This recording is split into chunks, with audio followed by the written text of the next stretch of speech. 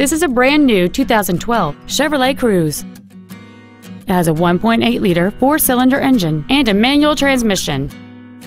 All of the following features are included. A low tire pressure indicator, traction control and stability control systems, a keyless entry system, variable valve timing, an engine immobilizer theft deterrent system, a passenger side vanity mirror, OnStar, an anti-lock braking system, air conditioning, and a navigation system.